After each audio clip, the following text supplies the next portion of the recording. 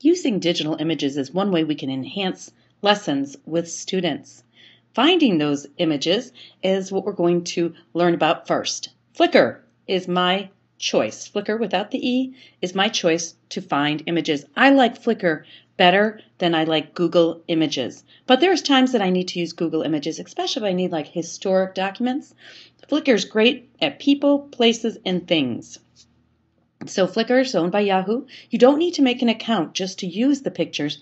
You do need to make an account if you want to comment or upload your own images. So to get started, you don't need to go ahead and make an account. Now, when you come in to Flickr, you want to go to the search box and in the search, you want to go look for the advanced search feature. This is very important because we want to model for students ethical use of digital resources, and that includes images online. So in the search, find the advanced search and click on the advanced search. This is what it's going to look like. Now, up at the top, you put in the word or the words that you're searching for. And then, very important at the bottom, see where it says Creative Commons only search within Creative Commons licensed content. In a very layman's term, that means as a person uploaded the, the image, they said put it under Creative Commons that you can use it for your projects, do do what you want with the image, just don't resell it and make money. That's really kind of the that now if the lawyer was here, go in a lot more detail. But that's really kind of the essence of the uh, Creative Commons. We need uh, uh, to model this for students, and we need to make sure students are using images that are licensed under Creative Commons. There's nothing worse than they make an entire presentation and right in the middle of their image there's a big water spot that says, you know, iStock photo or something like that.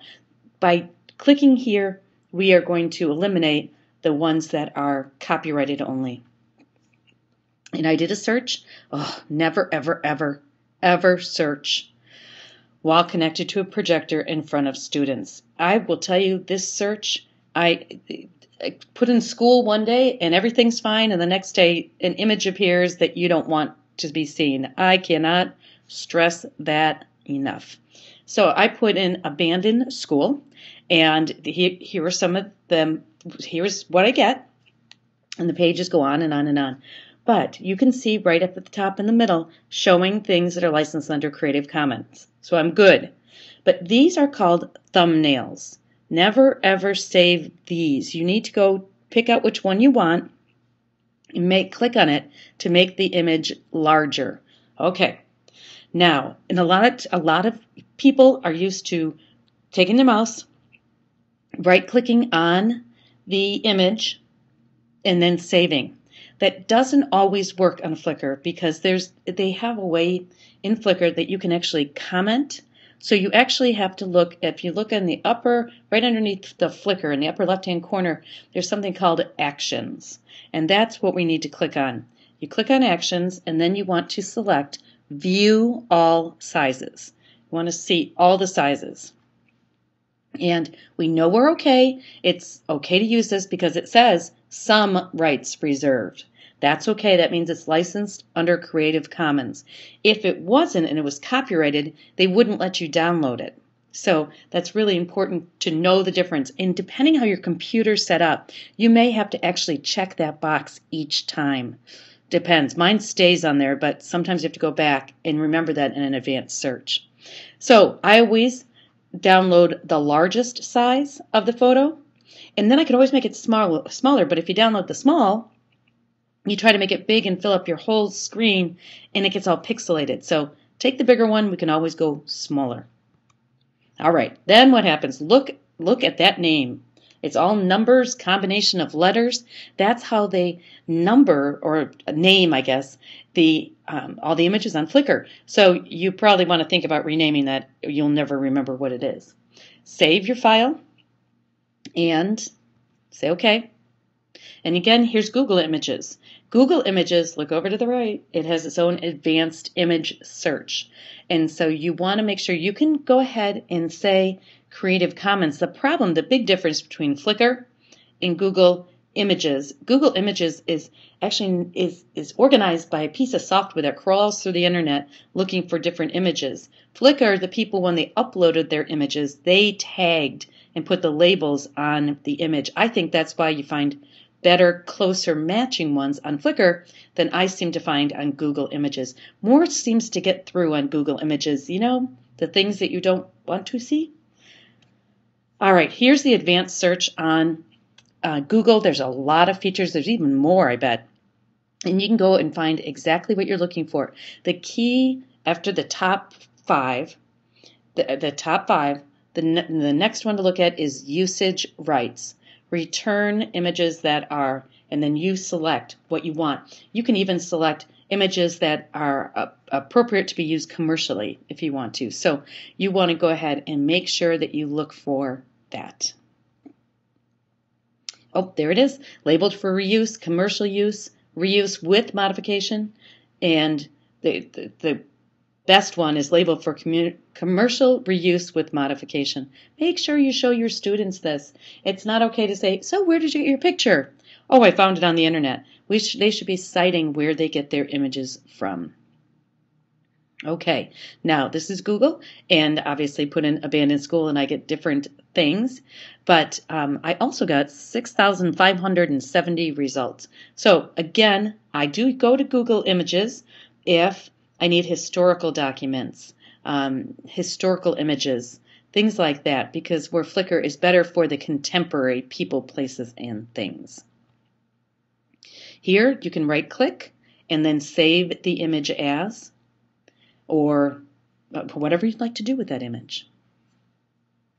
Again, any size, anything you want. So you can um, really narrow your search and get what, got one labeled for reuse with modification, and it comes up to that same uh, school. Image Chef. This is a fun site not to be used with students, unfortunately. I wish they would make um, an EDU side of it. What it does is it gives you templates and then you put your words in there and then it can create a graphic. So let's say you weren't working with vocabulary words and it was uh, during February. You could go ahead and put all your vocabulary words on uh, di- uh, candy hearts and just save the images and you could go ahead and put those into a PowerPoint presentation on your interactive whiteboard. It's just a fun way to work with words. But they added some images in here, virtual tattoos, things like that, that just aren't quite appropriate for all students. So this is a great one if you want to make up some pictures with you with your specific words. This is a great place to go. ImageChef.com. Now Picasa is Google's uh, digital image manager, and it is really an amazing tool. Free, of course, we love free, uh, theme that runs through many of my things. And you can create your own uh, albums, or you can also create web albums if you want to. This is wow for me. What it is, is it can go through all of your images, and then it also has face recognition. It can recognize the people in all your pictures, and then it asks you a question Is this so and so? And so, and you just check, yes, that's so and so. Yes, that's so and so. It's really very interesting. Now, Snapfish has been around a long time, and this is was designed to have you upload your images and then you can share them with whoever you'd like. This has more security built in, um, so you can lock them down. But you, there's also things like um, maybe they have a different name for them now, but rooms. So you could actually make a room. So if your your family could have one room and everybody could upload to that to that collection. And so this is nice. Of course, the people at Snapfish would love if you bought their books, their coffee mugs, their calendars with all your cute little pictures. So that's one of the reasons they give you this service for free because they want you to buy their everything else with your pictures. And I will tell you, I bought a book once, and it, they, it is beautiful. All right, Picnik is another. Uh, this now the great part about Picnik for photo editing is it's online, no software to download. You know, Photoshop is awesome. Photoshop Elements is great, but that software that has to be installed. This online, go ahead and edit your pictures. There's some really nice filters, frames, and things that you can do to your to your images to make them look better.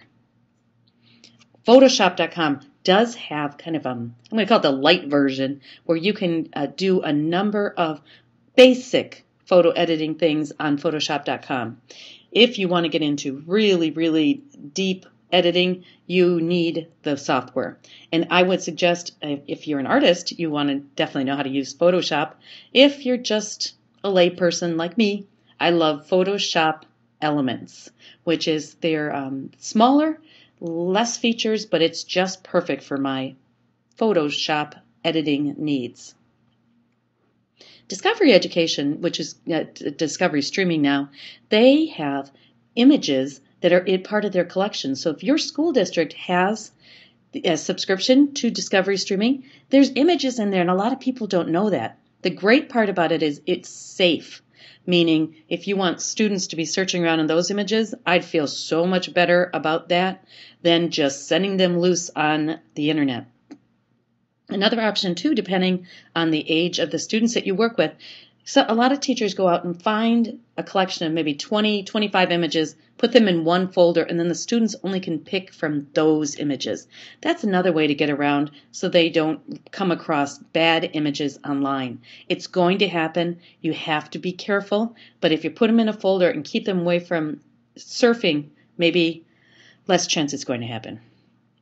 National Archives is filled not only with images, but entire lesson plans that you can use audio clips, in some cases, video clips, but very, very rich. They're trying to get everything out of the vaults and into the hands of the people, and they're trying to do that with the with the lessons and other things. So really if you need if you need images, historic images, this is a great place to go. This is another great place, Library of Congress. And they have all different things for you to come in. They have collections and uh, different libraries, and you can come in and explore really rich primary source documents. The only thing is, I have trouble searching within the Library of Congress. I, I don't never seem to get to exactly what I need. So what I do is I actually use Google's search engine, and I search for the topic I'm looking for, and then I put in LOC in the search. And that does get me to the Library of Congress, but it seems to filter out um, the resources much better than the search on the Library of Congress. That's just me. There's images everywhere. Anytime that you can use images to help students better understand content, that is great. If you can take your own images, if students can go out and capture images, that's even better. But remember, be safe, follow copyright, and use that advanced searching. Thanks.